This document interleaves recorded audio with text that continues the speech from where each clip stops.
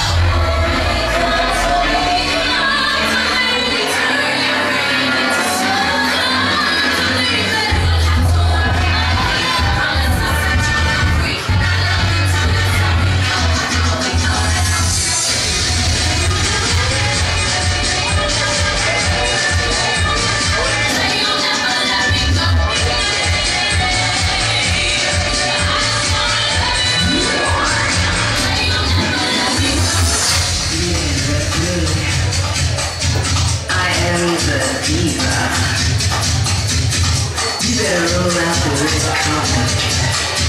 Cause here I come. I'm